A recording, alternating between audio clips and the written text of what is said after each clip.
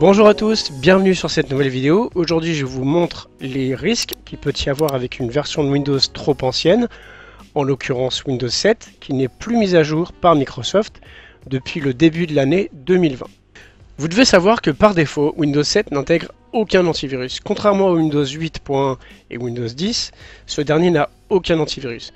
Je vous conseille d'en installer un qui est totalement gratuit, qui s'appelle MS Essential. Je vous mettrai le lien dans la description. Vous arrivez ici, vous descendez légèrement, vous arrivez sur ça, vous faites télécharger. Vous l'installez et c'est réglé. Vous le laissez se mettre à jour et c'est réglé. Maintenant, je vais vous montrer qu'est-ce qui se passe quand vous téléchargez un fichier qui est dangereux sur un ordinateur non protégé.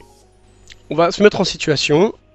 Vous êtes sur Internet, vous êtes euh, sur vos mails, vous faites pas attention, vous téléchargez une pièce jointe d'un destinataire inconnu, ce qui peut arriver par erreur, ou vous êtes curieux. Euh, voilà, ça peut arriver. Je vais vous montrer ce qui se passe. Donc là, vous êtes sur votre ordinateur, vous avez vos photos, vos dossiers, vos fichiers, etc. Vraiment, vous avez, je vous montre que tout est bon. Et vous ouvrez cette pièce jointe par une. Ça peut être quelqu'un qui se fait passer pour un ami en mettant la même adresse. Ça peut arriver qu'il y ait des usurpations de, mails. Et là, vous ouvrez cette fameuse pièce jointe et vous comprenez pas, il se passe un truc, c'est bizarre, ça travaille et tout.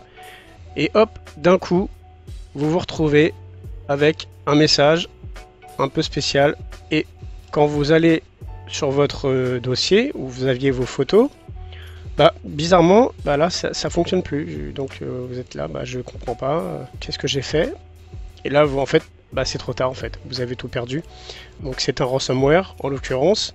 Il vous dit qu'il vous reste 6h23 pour payer aux pirates en bitcoin en plus. Donc il faut que vous ouvriez un compte Bitcoin, etc. Donc c'est toute une galère, je vous raconte même pas. Et du coup, bah, vous avez tout perdu. En fait, il vous explique que vos fichiers sont chiffrés et en gros qu'ils vous ont complètement euh, verrouillé toutes vos données. Et là, donc vous comprenez qu'à l'instant, vous venez de tout perdre en fait. Quelle que soit la manip que vous voulez faire, vous redémarrez votre PC, ce sera pareil. Et dès que je retourne sur mes fichiers photos, bah évidemment, euh, qu'est-ce qui se passe? Et en fait, vous vous rendez compte que tous vos fichiers, alors le message qui repop en permanence, tous vos fichiers, photos, euh, vos documents Word, Excel, PowerPoint, euh, Adobe Acrobat, PDF, sont tous chiffrés. Et là, c'est vraiment trop tard. Là, vous ne pouvez plus rien faire. Ne payez pas les rançons qu'on vous demande. Généralement, les, pirates ne vous donnent jamais les clés. Donc pour éviter ce genre de problème, les conseils que je peux vous donner, c'est n'ouvrez jamais de pièces jointes de mails inconnus. Faites attention quand vous ouvrez un mail, regardez toujours le destinataire. Si vous ne le connaissez pas, vous le jetez à la poubelle. Vous ne réfléchissez pas.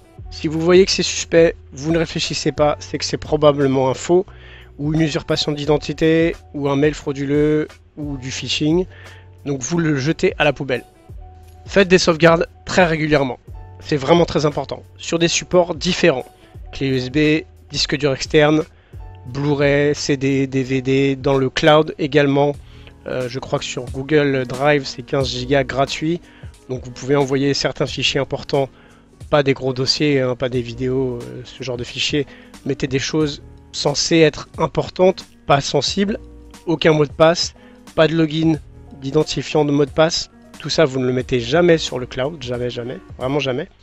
Investissez dans un antivirus payant, gratuit, ça fonctionne aussi, mais ça reste limité. N'oubliez pas que quand c'est gratuit, c'est vous le produit. N'oubliez jamais ça. Renouvelez régulièrement vos licences antivirus. Essayez de migrer le plus rapidement possible sur Windows 8.1 ou Windows 10. Je sais que ça peut faire peur à certains, mais c'est le seul moyen d'être protégé et d'être à jour. Mettez à jour votre antivirus et Windows à chaque fois que c'est nécessaire. Si vous respectez bien ça, vous n'aurez pas de problème.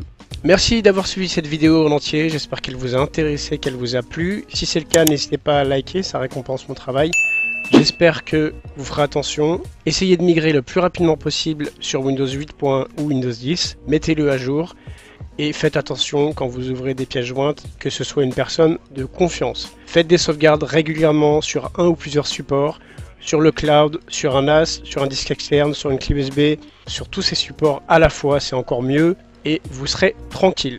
N'oubliez pas de vous abonner à la chaîne si cette vidéo vous a plu. A très bientôt. Salut